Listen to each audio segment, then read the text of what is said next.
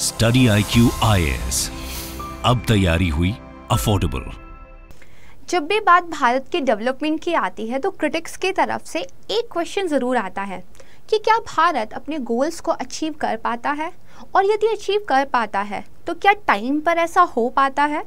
तो आज मैं आपको बता दूँ कि भारत ने एक सपना देखा था, और वो सपना था अपने सभी भारतवासियों को अफोर्डेबल एनर्जी उपलब्ध कराना। और इस सपने के साथ भारत ने एक ज़िम्मेदारी भी ली थी।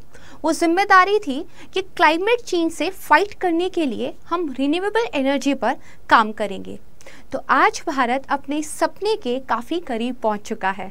तो आज की वीडियो में हम भारत के रिन्यूएबल एनर्जी सेक्टर के बारे में प्रॉपर एनालिसिस करेंगे।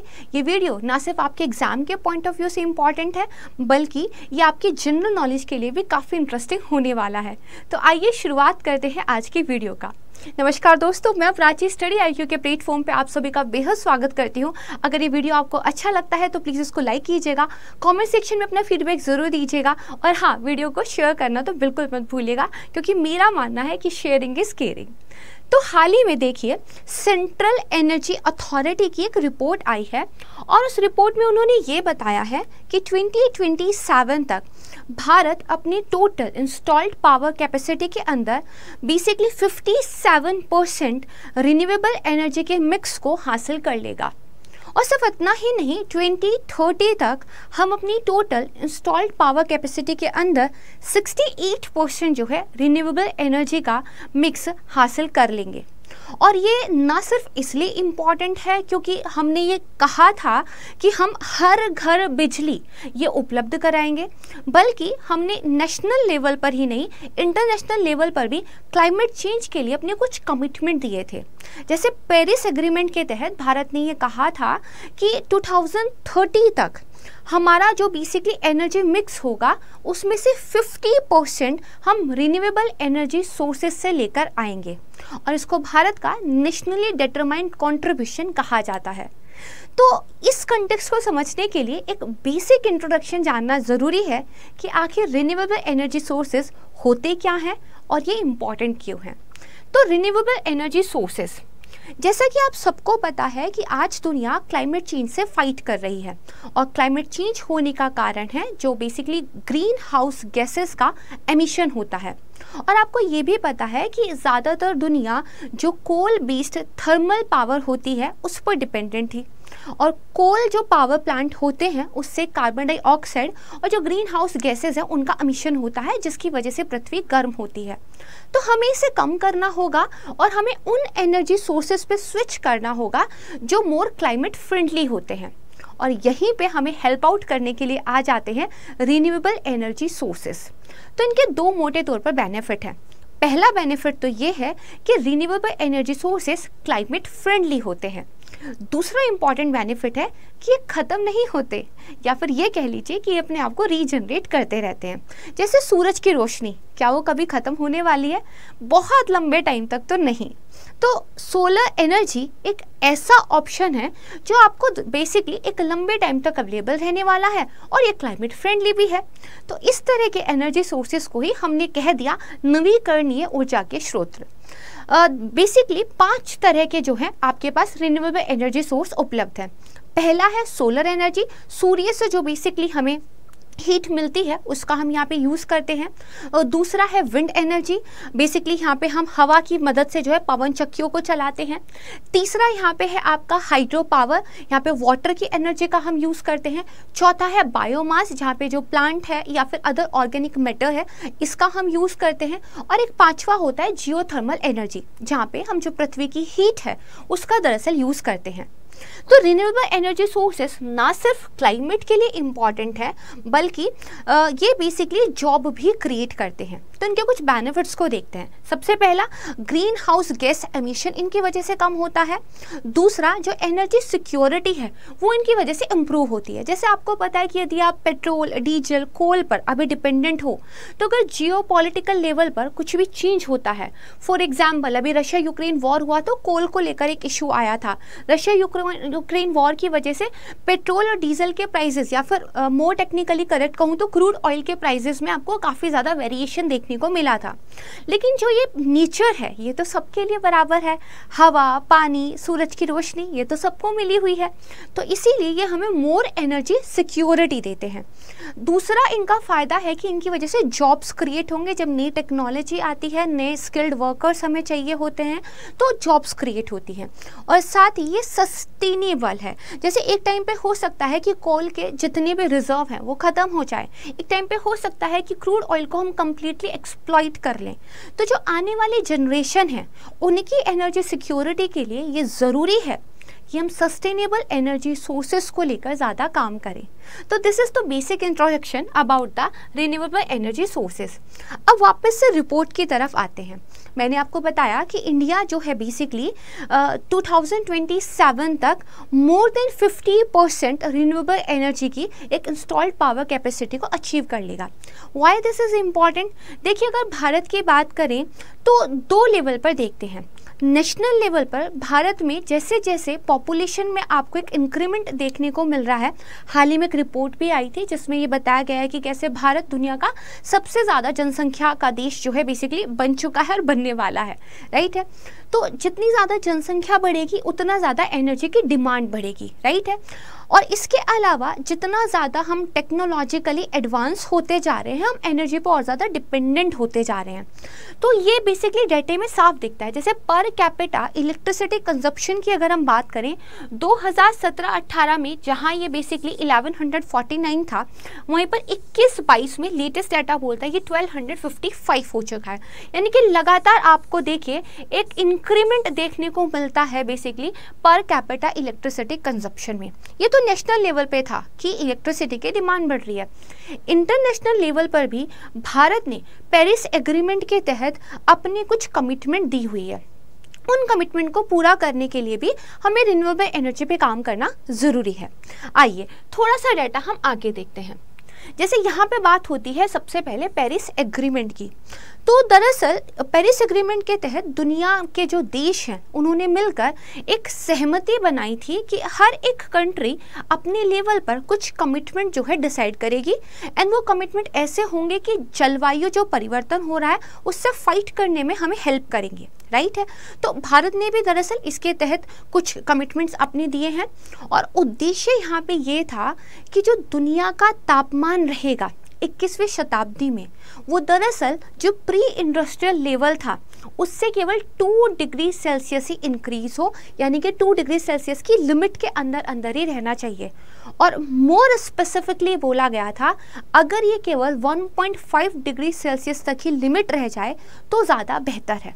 सभी देश जो हैं, इसकी तरफ़ बेसिकली काम कर रहे हैं और जितने भी कमिटमेंट देशों की तरफ़ से इसके तहत दिए गए हैं, उन्हीं को बोलते हैं नेशनली डिटरमाइंड कंट्रीब्यूशन अब देखो, भारत ने 2022 में अपनी जो कमिटमेंट्स थी, उनको अपडेट किया था। इसमें से एक बहुत इंपॉर्टेंट भारत ने बोला था कि 2070 तक हम दरअसल नेट ज़ीरो एमिशन जो है, इसको हासिल कर लेंगे। यानी कि हम बेसिकली जो कार्बन डाइऑक्साइड है, उसके उत्सर्जन को लेकर एमिशन को लेकर न्यूट्रल हो जाएँगे। दूसरा भारत ने बोला था कि जो एमिशन की इंटेनिसिटी है राइट है, उसको हम 2005 के लेवल से 45 परसेंट कम कर देंगे 2030 तक। इंपॉर्टेंट हमारे लिए आज ये है कि भारत ने ये कहा था, जो भी हमारी क्यूमुलेटिव इलेक्ट्रिक पावर की इंस्टॉल्ड कैपेसिटी होगी, उसका जो 50 परसेंट हमें लेकर आएँगे, वो रिन्यूएबल एनर्जी सोर्सेज यानी कि नवीकरणीय ऊर्जा सोर्सेज से लेकर आएँगे। ठीक है? तो इसीलिए इंपॉर्टेंट है कि हम रिन्यूएबल एनर्जी के टारगेट्स को लेकर बेहतर काम करें। साथ में भारत ने कुछ कार्बन सिंक बनाने की बात भी कही थी फॉरेस्टेशन के द्वारा। तो अब तक भारत के पास किस तरह का एक एनर्जी मिक्स है, इसकी बात करते हैं। तो यहाँ पर देखिए, अगर लेटेस्ट डाटा की मैं बात करूँ राइट मार्च 2022 तक की तो जितनी भी हमारे पास टोटल इंस्टॉल्ड पावर कैपेसिटी थी, उसमें सबसे ज़्यादा, यानी कि 51 परसेंट जो हमें मिलता है, वो अभी भी कोल पर निर्भर है। इसके बाद हमने काफ़ी बेहतर काम किया है। 39 परसेंट जो है हमें रिन्यूएबल एनर्जी सोर्सेज से मिलता है। एंड इसके अलावा आप देखोगे तो कुछ गैस से मिलता है न्यूक्लियर भी है डीजल और लिग्नाइट भी है। राइट है तो यानी कि अभी 51 परसेंट जो है, हम कोल पर डिपेंड है। इसी को धीरे धीरे हमें क्या है? कम करना है। अब ये जो रिन्यूएबल एनर्जी सोर्सेज हैं राइट है इनमें कितना, किस पर हम डिपेंड है, इसकी बात कर लेते हैं। तो यहाँ पर देखिए, सबसे ज़्यादा बेसिकली हमारे पास आता है यहाँ पर सोलर से 34 परसेंट इसके बाद जो लार्ज हाइड्रो बेसिकली हमारे पास प्रोजेक्ट्स हैं, वहाँ से 30 परसेंट देन विंड से आता है करीब 26 परसेंट एंड देन इसके अलावा आप देखोगे तो बायोमास है और स्मॉल हाइड्रो पावर प्रोजेक्ट्स हैं। तो this is about the data ये तो पहले था राइट है? इसके बाद अब बेसिकली ग्रोथ की बात करते हैं कि हमने कितना बेहतर काम किया है। ठीक है परसेंटेज वाइज तो समझ में आ गया कि एक टोटल एनर्जी मिक्स के अंदर किसका कितना जो है कंट्रीब्यूशन है। हमने ग्रोथ कितनी की है? तो अगर आप बेसिकली देखोगे, करीब 2002 से राइट है? और करीब 2017 तक देखिए तो हमने काफ़ी बेहतरीन ग्रोथ यहाँ पर की है राइट है इससे पहले भी एक स्लो ग्रोथ दिखाई देती है। आ, बीच में हमने बेहतर काम किया था लेकिन ये हमने एक बहुत शानदार काम जो है यहाँ पर कर कर दिखाया है। और बेसिकली इस दौरान जो है धीरे धीरे गवर्नमेंट का फोकस रिन्यूएबल एनर्जी सोर्सेज की तरफ़ ज़्यादा होने लगा था राइट है और यहाँ पर फिर से हम देखेंगे थोड़ा सा जो है स्टेगनेंट रहे हैं कोविड आया एंड देन उसके बाद अगेन एक ग्रोथ यहाँ पर दिखाई देती है। इसमें thermal hydro nuclear renewable energy sources और भूटान से जो हम इलेक्ट्रिसिटी इंपोर्ट करते हैं, उस सब का डाटा जो है मिक्स करके दिया हुआ है। राइट है? अब देखो, एक क्वेश्चन आता है कि रिन्यूएबल एनर्जी सोर्सेस में सबसे ज़्यादा हम अभी कहाँ से एनर्जी लेके आ रहे हैं? सोलर से राइट है? लेकिन एक्चुअली सोलर एनर्जी के ना, अगर हम टैरिफ्स की बात करें तो वो कॉस्टली थे।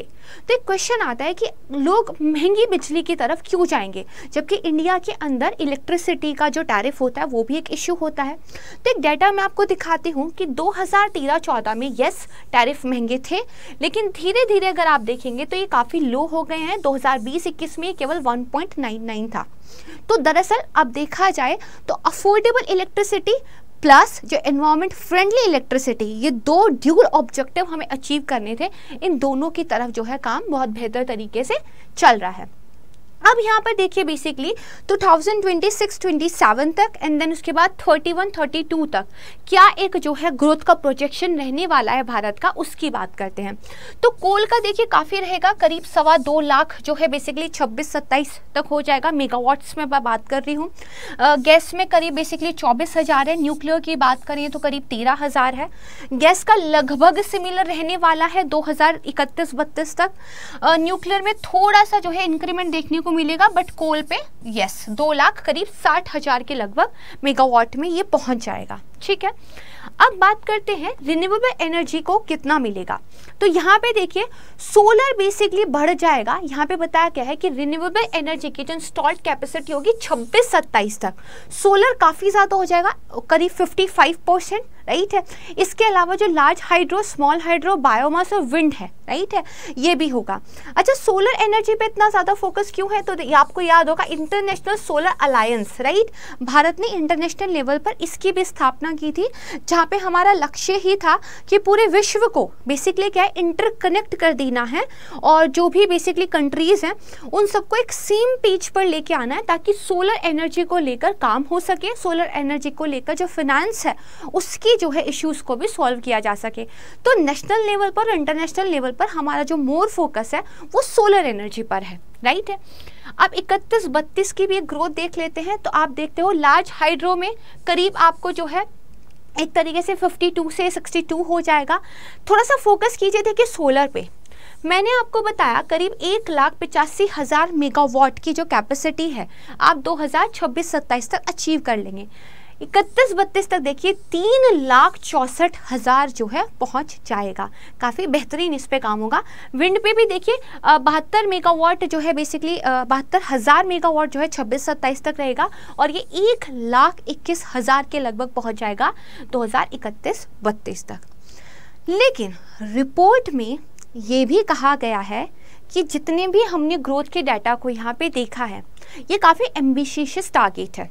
ये एम्बियस टारगेट क्यों है? महत्वाकांक्षी एक लक्ष्य है, क्योंकि इसके लिए बहुत ज़्यादा फंड की ज़रूरत होगी और इसके लिए गवर्नमेंट को लगातार रिन्यूएबल एनर्जी सोर्सेस को प्रोत्साहन देना होगा। तो बात करते हैं उन मेजर बेसिकली स्कीम्स की जो सरकार के द्वारा चलाई जा रही हैं, जिसमें से एक इंपॉर्टेंट है नेशनल सोलर मिशन 2010 में इसको लॉन्च किया गया था और दरअसल सरकार वो फेवरेबल एक इकोसिस्टम बनाने की बात कर रही है, जिसकी वजह से सोलर एनर्जी को यहाँ पर जो है प्रोत्साहन मिले। दूसरा इंटरनेशनल सोलर अलायंस इसकी मैंने बात की थी कि पूरे वर्ल्ड को एक ग्रिड से कनेक्ट कर देने का यहाँ पे भारत का टारगेट है। यहाँ पे भारत सरकार जो है वन सन वन वर्ल्ड और वन ग्रिड इसके कॉन्सेप्ट को लेकर जो है काम कर रही है।